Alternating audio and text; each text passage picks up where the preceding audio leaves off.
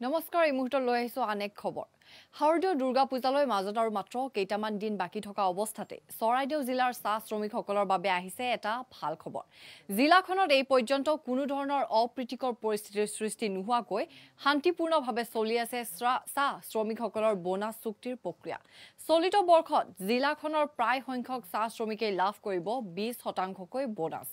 অসম চাহ মজদুৰ সংঘৰ সোণাৰী শাখাৰ অধীনত থকা সৰু বৰ মুঠ ছাপন্নখন চাহ বাগিচাৰ ভিতৰত তেৱন্নখনৰ মালিক পক্ষৰ সৈতে বোনাছৰ চুক্তি স্বাক্ষৰিত হৈছে।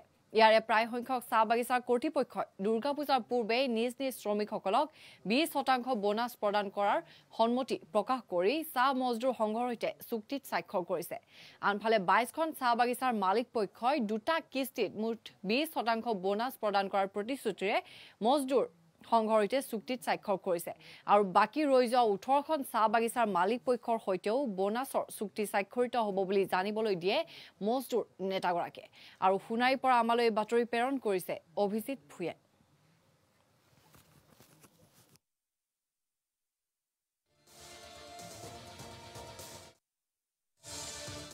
আৰু ছাপন্নখন বাগিচাৰ ভিতৰত এতিয়ালৈকে মানে তেপন্নখন বাগিচাৰ ইতিমধ্যে বনাজ স্বাক্ষৰিত হৈছে তাৰে টুৱেণ্টি পাৰ্চেণ্ট বনাজ আমাৰ বৰপাত্ৰ বৰহাট বৰাহী আৰু খাগৰিজান আৰু আমাৰ বৰহাট।